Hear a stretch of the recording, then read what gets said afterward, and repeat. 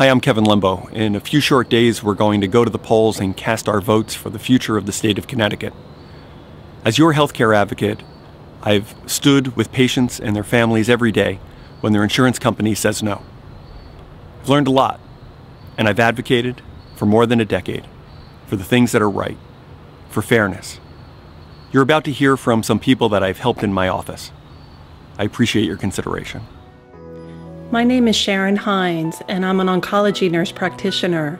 For more than 30 years, I have dedicated my career to caring for people with cancer.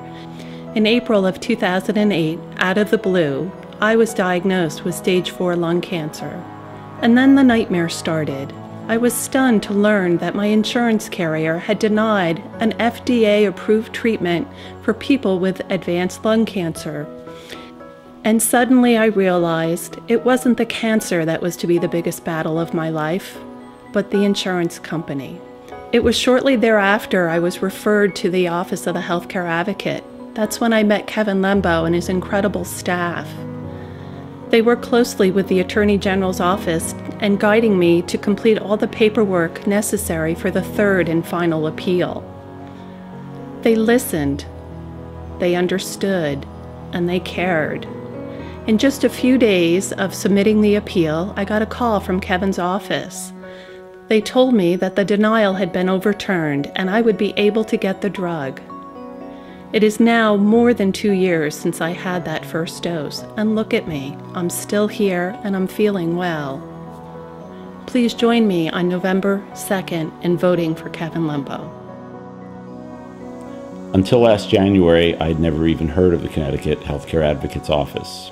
Um, but back in January, my partner was recommended to a treatment program um, at a local hospital, and the hospital told us that our insurance wouldn't cover it. Then I heard of the Connecticut Healthcare Advocate's Office. I called the office and I spoke with Kevin Lembo, and I was amazed at how responsive and caring he was.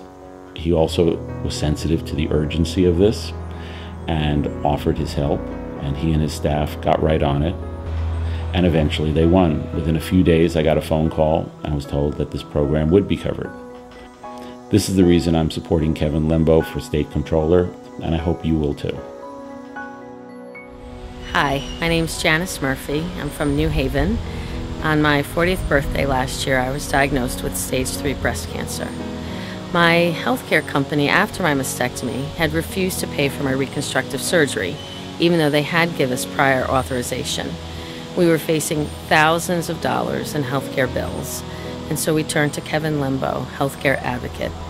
His team was supportive, encouraging, and logged countless hours to make sure that I received the care that I deserved. In the end, the insurance company caved and reversed their denial of coverage, which was a huge win for us. It was a comfort to know that someone was fighting for me at such a difficult time in my life and my family's life. I know that as comptroller, Kevin will continue his advocacy for the people of Connecticut. I'm Kevin Lembo, candidate for comptroller, and I'm asking for your vote on November 2nd to continue my advocacy on behalf of the people of Connecticut. Thank you. Kevin Lembo. Kevin Lembo. Kevin Lembo. I'm Kevin Lembo, and I approve this message.